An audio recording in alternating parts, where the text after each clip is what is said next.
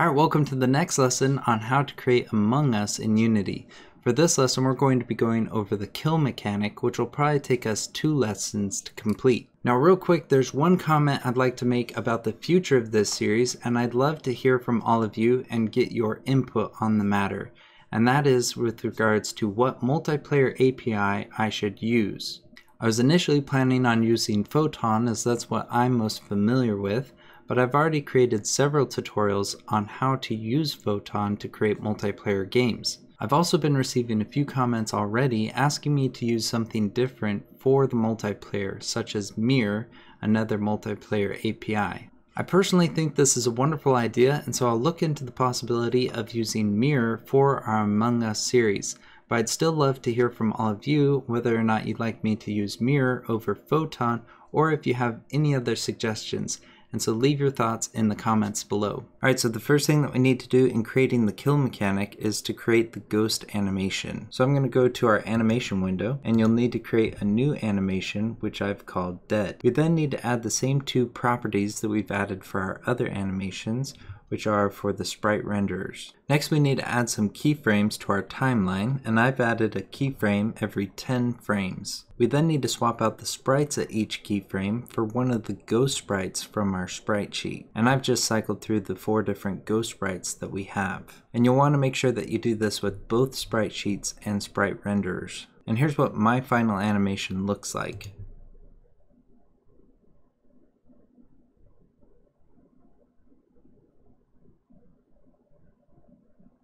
Once we have this animation, we then need to go over to our animator window. Here, the new animation state should already be added to your animator controller when you have your player object selected, but we need to now create the transition to this new state. And for this transition, I have it going from any state to our dead state. To create this transition, you can right click on any state, then select make transition, then left click on the dead state. We then need to select the transition and in the inspector, we want to disable has exit time. We then want to expand the settings and set the transition duration to zero so that the transition happens instantly. And then we want to also disable the can transition to self option. The last thing that we need to do is add a condition and for this we'll need to create a new parameter. And so with the parameters tab selected you'll click the plus sign and for this parameter we'll need a bool and I've called it is dead. We can then click the plus sign under conditions in the inspector and change the parameter from speed to is dead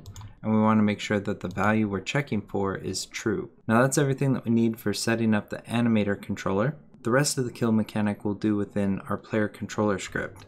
So we'll open that up in our coding environment. Now before we get started, there's one change that we want to make to this script from our previous video, and this is within the start function. Here inside the start function, we only want to change the color of our player if we're the owner of that player. And so prior to this last line of code, I've added an if statement where we're checking to see if has control equals false, and if it does, then we're just returning. Without this if statement, all the players in our scene would change their color to the static myColor variable. We then need to also make a similar change to our update function where I've added the same if statement and return to the beginning of our update function, which will make it so that only the player that we have control of can move. Now once you have all this, we can then scroll back up to the top to go over our variables.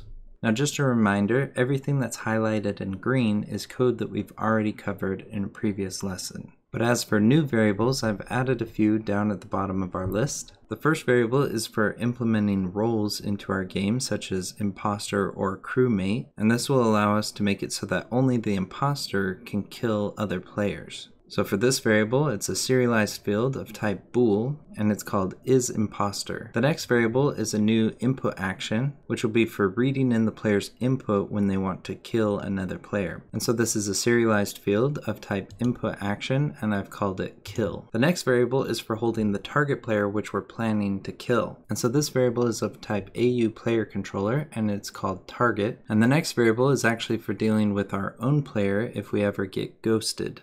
This is of type serialized field and it's a collider called my collider. And the last variable is a bool called isDead. Once we have these variables created, the first thing that we need to do is subscribe to the event of our player's input. For this, we'll do it within the awake function, which is another special function similar to the onEnable and start function, only this happens prior to the start function. Inside this function, we're calling our input action, which is kill, performed. We then have plus equals, and then kill target, which is the name of a function that we'll create later on. We then need to enable our input action, and we do this within the onEnable function. So we have kill enable and we need to disable it in the onDisable function. So we have kill.disable. Now once we have this, the next thing that we're going to do is create a function for setting our role. So here below our set color function, I have a public void function called set role. This function has a parameter of type bool called new role, and inside this function, we're setting is imposter equal to new role. Next up, we need to create the special on trigger enter function so that we can create interactions between our players. Inside this function, we have an if statement where we're checking to see if other.tag equals player. If it does, then we want to get the player controller script from the other player. And so I have a local variable of type player controller called temp target,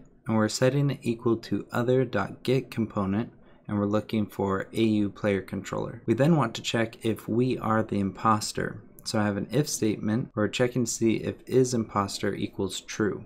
If we are, we also want to check to see if the other player is an imposter as well. And so I have if temp target is imposter equals true, then we return. Else target equals temp target. So once we have our target and we receive input from the player, we can then proceed to kill the other player. And so here I have our kill target function, which is the function that's being called by our input action event. This is a void function with a parameter of type inputAction.callbackContext and it's called context. Inside this function, we can check to see what the phase of our context parameter is.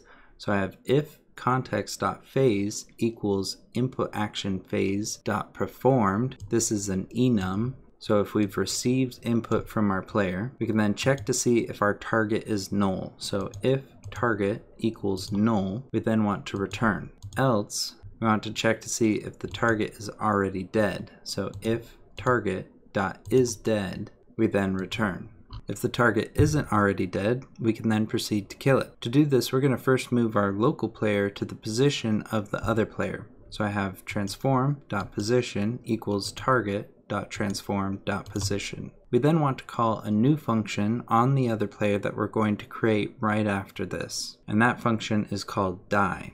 So I have target.die, and the last thing that we want to do is remove our target. So I have target equals null. Next up, we'll create our die function. This is a public void function called die. And inside this function, all we have to do is set is dead equal to true. We then need to set the is dead parameter of our animator. So I have my anim.setBool. I'm passing in the string is dead for the first parameter, and the second parameter is our is dead bool. And the last thing that we need to do is disable our player's capsule collider. And so I have my collider dot enable equals false. And once we have all of this, we can save our script, go back to Unity. We then want to select our player, and in the inspector, we want to first make sure that our tag is set to player, which is a default tag that should already be in your project. We then want to enable has control and enable is imposter we then need to create a new key binding for our kill input action. So you click the plus sign and just select add binding. We can then double click on the binding and set the path to be the spacebar for now.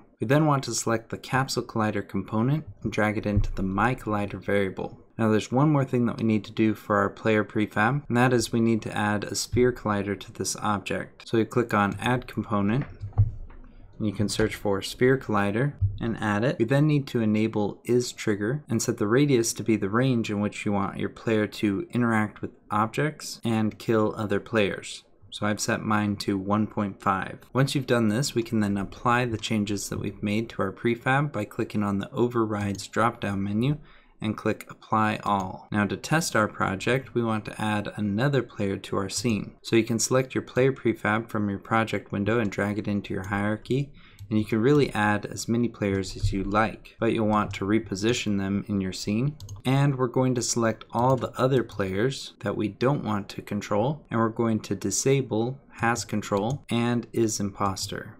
Then if you wanted to, you could even change the color of these other player objects. So now let's test out our project. So here you can see that I can only move the one player that I have control over. Then when I approach another player so that they are within my sphere radius, if I click the spacebar, you can see that the other player has turned into a ghost.